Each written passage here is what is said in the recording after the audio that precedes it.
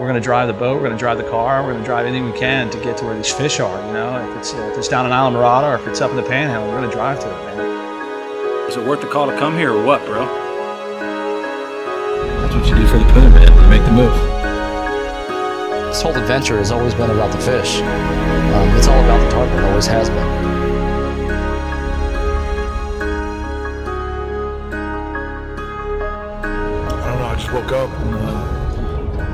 Uh, the Keys. Pretty cool. I mean, this is about the migration. You know, this is about tarpon and how they travel up the coast of Florida. I looked up and there was a line of fish coming, and it never stopped. I mean, we fished Big Pine, Islamorada. From Islamorada went to the Everglades. From the Everglades up to Boca Grande. We stake out in areas where we know that on a given tide, uh, the fish are going to push into a certain location, and we wait for the fish to come to us. There's more to it than just getting the fly in the right location. You've got to watch the body movement of the fish. Uh, but sometimes you get it right. You know, you drop the fly right on the nose and wiggle a little bit, and it just crushes them. Y'all? I was on a boat right here.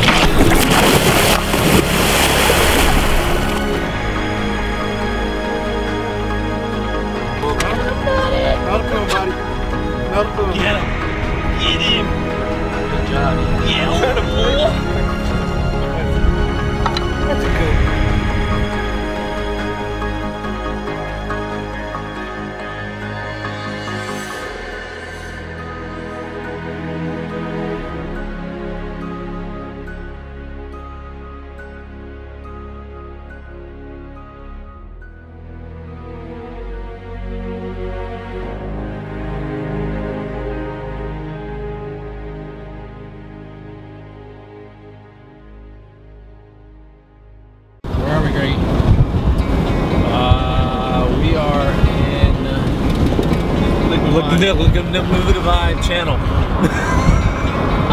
in the Keys. City because the water was terrible and the fishing sucked today. And we heard a bunch of good reports. There was a lot of poons down south, so That's what you do for the poon, man. You make the move.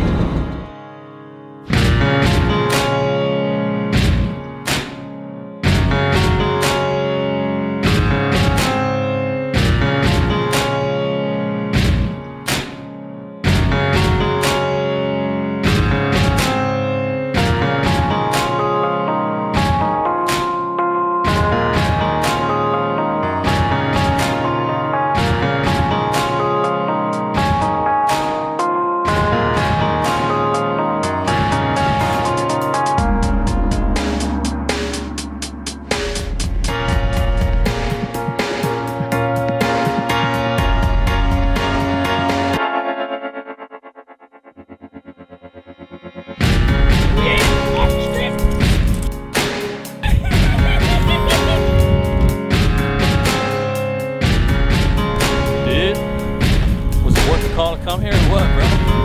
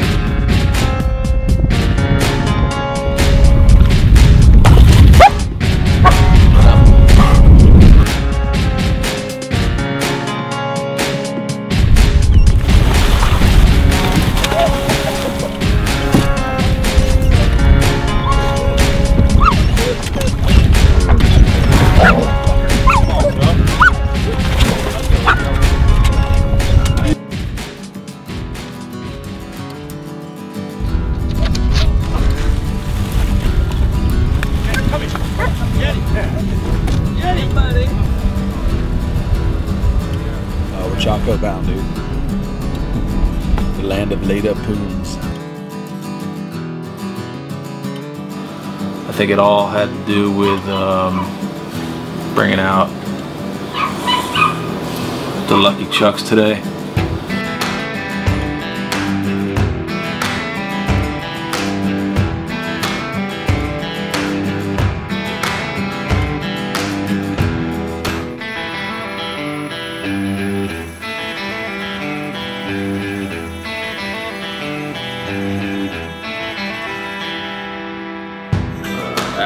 Love it. I don't think there's anything better than getting a shot at a floating fish in two to five feet of water. I don't think it gets any better than that.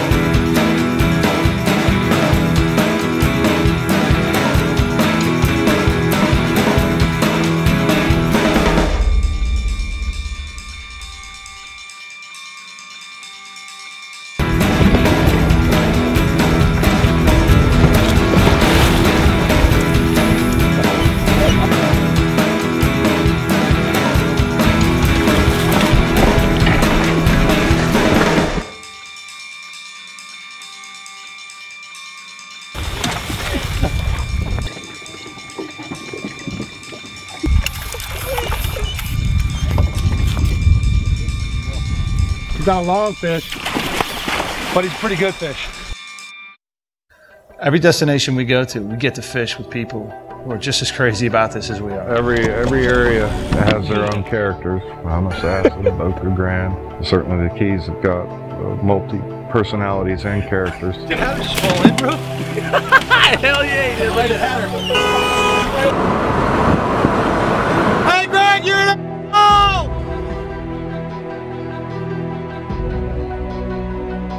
Going to all these different places and seeing the wildlife and meeting all the different people was just an amazing experience. You know, these guys, their, their lives evolve around this fish, you know. Uh, these guys we're going to fish with, and that's all they think about. That's what they're there to do.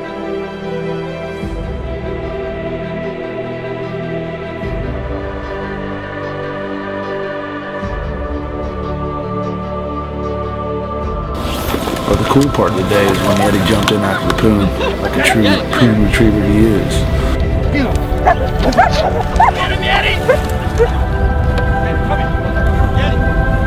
Eddie loves some poon, bro. This season we got to fish more places and see more tarpon than most people do in a lifetime. In a matter of about two and a half hours, we jumped 17 fish. That's one of them badass Everglades poons right there, brother. That fish would not give up.